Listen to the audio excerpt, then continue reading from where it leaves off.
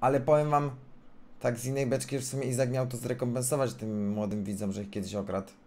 A tak wzięcie ich na gierkę, mm, to się może jeszcze większą krzywdą na psychice u nich odbić taka gierka z Izakiem. Jeszcze nie daj Boże, żeby mu się toksyna odpaliła. O Jezus. To te chłopaki nie zagrają w CS-a nigdy. Ja wiem coś o tym. Sam, sam po tych emerytowych gierkach to muszę z Krakowa.